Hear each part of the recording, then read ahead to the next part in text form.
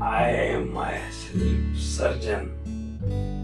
I have come here for stem cell therapy, which is unique in all respects.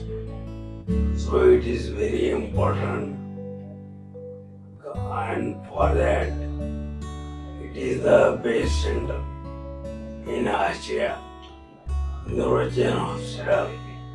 In charge of Alok Sharma and other staff is also available. And the physiotherapists are very good. They are taking care and they taught me all exercises which I am following regularly. So there is a lot of improvement in speech, ataxia, instability. So there is improvement